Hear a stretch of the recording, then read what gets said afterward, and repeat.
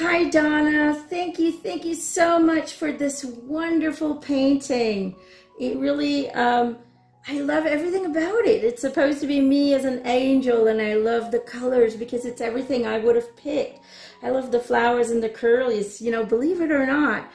But the curlies that you kind of uh, wrote down here, I draw those all the time when I'm watching TV. I'm kind of a doodler and I, I draw them all the time. And Gerald asked me, why do you always make those little curls? And I said, I don't know.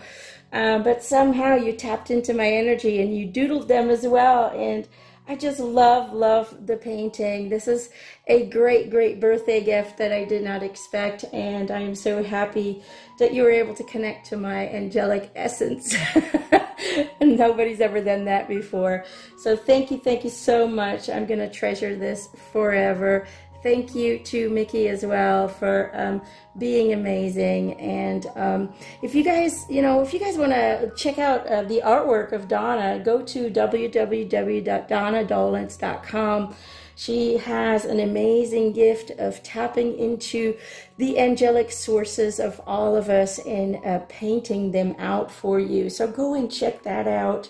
And for now, this really made my day. I love all of you guys and um, many blessings to you guys and have a very bright, very beautiful, and very sunny day. Bye.